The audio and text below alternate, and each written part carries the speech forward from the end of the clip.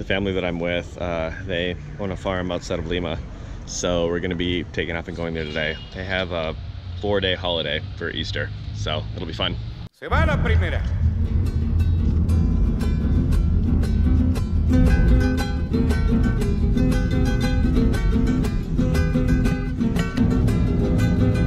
¡Adentro! Caballo que no derecho al pisadero al.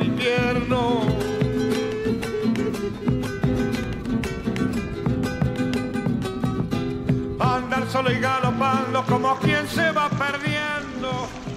So I'm at a farm north of Lima, and I wanted to share with you a little bit about the mangoes that are here. There are three different types that I've seen. Um, they call them, one is called mango papaya. It's very, very sweet and very smooth to eat and very juicy. It's very big and very yellow.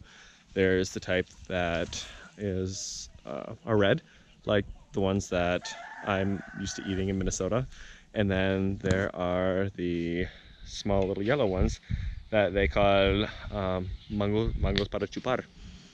And these types of mangoes, which I'll show you, they are small and yellow. And what you're supposed to do after you get them is roll them around in your hand to break up all the fibers inside of it. And they're really, really juicy. And then after you get it good and soft, you get it, you bite the top of it, and then you suck the juice out. And it's very, very sweet. Very, very good. And then when you're done, you can either tear it open and eat it, or you can throw it away. Andar solo y galopando como quien se va nomás. Las lágrimas bajo el poncho porque no es de hombre llorar.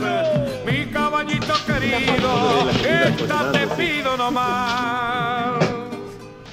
Nos han echado los perros, pero no me han de alcanzar. ¿Qué me voy a decir? ¿Qué cosa?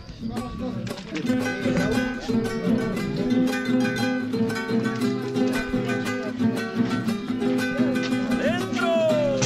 Caballo que no galopa va derecho al pisadero.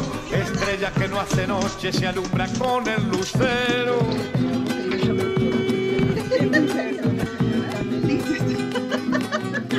Soy jinete de la noche, voy de mi tierra por no vender mi guitarra.